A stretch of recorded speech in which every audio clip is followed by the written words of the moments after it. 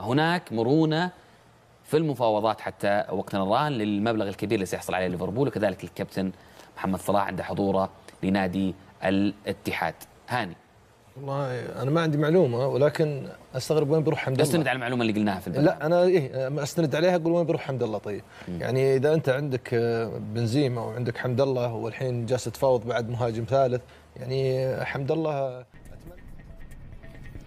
أول رد فعل من محمد صلاح على أنباء توقيعه لفريق اتحاد جدة السعودي.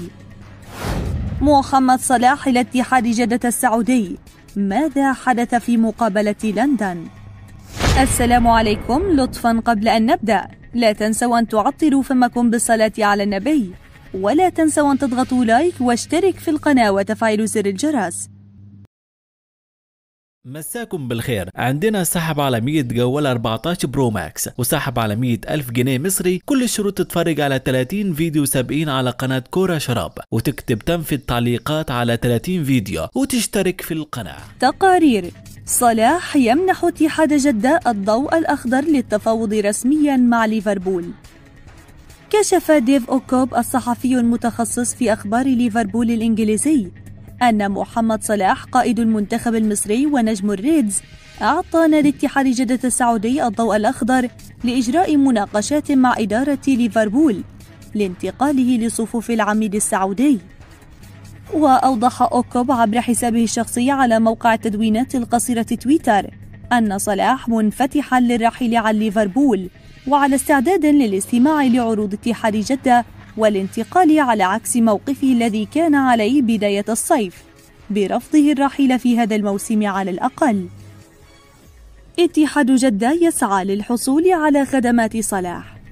وأضاف الصحفي الإنجليزي أن اتحاد جدة يسعى للحصول على خدمات محمد صلاح والتوقيع مع اللاعب والذي سيجعله الأعلى أجرا في مسابقة الدوري الإنجليزي ما دفعه لمنح إدارة الاتحاد الضوء الأخضر وتم أوكوب تصريحاته مؤكدا أن محمد صلاح رغم انفتاحه بالانتقال لصفوف اتحاد جدة سيحترم رغبات ليفربول بشأن رفض رحيله ولن يضغط من أجل الرحيل عن الريدز خاصة مع تمتعه بجماهيرية في النادي محمد صلاح إلى اتحاد جدة السعودي ماذا حدث في مقابلة لندن؟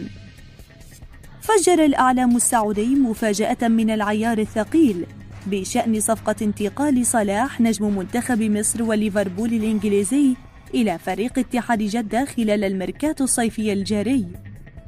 ويحاول اتحاد جدة منذ عدة أسابيع للتعاقد مع محمد صلاح وتسجيله بدلا من البرتغالي الشاب جواو فيليبي جوتا الذي يخطط النادي لنقله لأي فريق سعودي آخر على سبيل الإعارة. صلاح يوافق على عرض الاتحاد وقد وافق الدولي المصري محمد صلاح مؤخرا على الانتقال لصفوف اتحاد جدة السعودي خلال موسم الانتقالات الصيفية الجارية ووفقا لقناة الكأس القطرية فإن محمد صلاح لا يمانع الانتقال إلى الدوري السعودي عبر بوابة الاتحاد حيث منح ليفربول الضوء الأخضر للاعب للتفاوض مع العرض الاتحادي. لماذا يرحل صلاح عن ليفربول؟ تغير موقف صلاح بشأن الرحيل عن ليفربول بعد التوتر الذي حدث في علاقته مع الألماني يورجن كلوب مدرب الريدز الذي قام باستبداله في مباراة الفريق الأول بالدوري الإنجليزي أمام تشيلسي. آثار هذا الأمر غضب النجم المصري خاصة وأنه لم يسجل هدفا في المباراة الافتتاحية بالدوري. للمرة الأولى منذ ست مواسم متتالية. ووفقا لصحيفة عكاظ السعودية فإن أنمار الحائلي رئيس نادي اتحاد جدة السعودي يتواجد حاليا في العاصمة البريطانية لندن للتوقيع مع محمد صلاح جناح فريق ليفربول لضمه إلى صفوف الفريق. يذكر أن عقد محمد صلاح مع ليفربول ينتهي بعد موسمين في الثلاثين من يونيو 2025 شاهد. صورة لرئيس اتحاد جدة تكشف فشل صفقة محمد صلاح. أثار أنمار الحائلي رئيس نادي اتحاد جدة السعودي الجدل حول فشل صفقة التعاقد مع محمد صلاح نجم ليفربول الإنجليزي خلال فترة الانتقالات الصيفية الجارية. وارتبط محمد صلاح بالانتقال لصفوف نادي الاتحاد السعودي في الميركاتو الصيفي الحالي وذلك لرغبة العالمي في تدعيم صفوفه بالموسم الحالي. وكشفت تقارير صحفية عن سفر أنمار الحائلي إلى العاصمة الإنجليزية لندن لمحاولة حسم صفقة محمد صلاح والتعاقد معه لتدعيم صفوف الاتحاد السعودي. وعرض النادي السعودي مبلغا ضخما على محمد صلاح للحصول على خدماته في الميركاتو الصيفي الحالي ولكن لم يصدر أي تصريح رسمي بخصوص حسم الصفقة. وربطت بين عودة الحائلي إلى السعودية وفشل إتمام صفقة التعاقد مع محمد صلاح. الألماني يورجن كلوب مدرب ليفربول أعلن أيضا في تصريحات خلال المؤتمر الصحفي اليوم الجمعة عدم صحة ما تردد بشأن رحيل نجم منتخب مصر. ويستعد ليفربول لملاقاة نظيره نيوكاسل يونايتد يوم الأحد المقبل في الجولة الثالثة من بطولية الدوري الإنجليزي الممتاز بالموسم الحالي 2023-2024